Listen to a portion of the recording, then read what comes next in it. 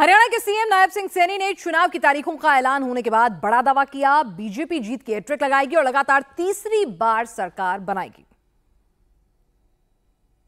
चुनाव आयोग ने जो दिए को हम स्वागत करते हैं। हमारी पूर्ण तैयारी हम मजबूती से हरियाणा प्रदेश के अंदर आज जन जन की एक ही आवाज़ है कि तीसरी बार भारतीय जनता पार्टी की सरकार हरियाणा के अंदर के साथ आज